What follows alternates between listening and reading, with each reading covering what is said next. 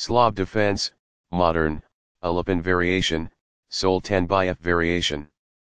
Balanced neither player ever had an advantage. That game was pretty competitive. Both players had an amazing opening. The reti is a less common but flexible opening that controls the center with the knight before committing a pawn.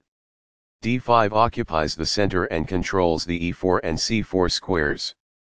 The d4 square controls the e5 and c5 squares and establishes a solid center. By doing this, a knight moves out of its beginning square and into the action. c4 gains space on the queen side, prepares to develop the knight to c3, and invites black to give up control of the e4 square after dx c4. When c6 is played, the d5 pawn is supported and the queen can grow on the queen side. And c3 attacks the d5 square and starts to fight for the e4 square. dx c4 captures the c4 pawn and opens up the center.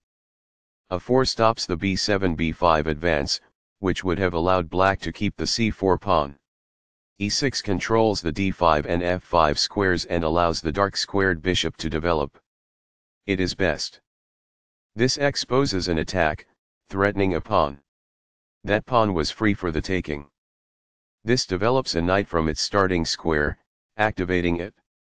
Castling gets the king to a safer square, out of the center of the board, while also developing a rook. Castling kingside tends to be safer because the king is further from the center. It is a fair deal after all captures. Recaptures. By growing a bishop from its initial square, this activates it. This activates a queen by developing it off of its starting square. Castling develops a rook, while also moving the king to safety. Castling to the same side of the board as the opponent tends to lead to less sharp positions as compared with opposite side castling. This protects the attacked pawn. This offers an equal trade of pieces. Among the best actions.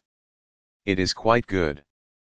By posing a threat to a queen and compelling it to flee, this wins a tempo. It is quite good.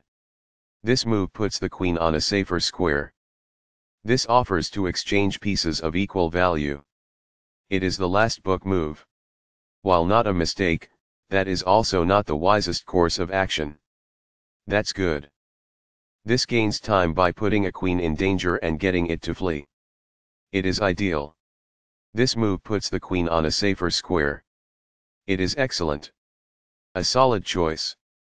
It is excellent. There were worse moves, but also something much better. It is an inaccuracy. Balanced neither player ever had an advantage. That game was pretty competitive. Both players had an amazing opening.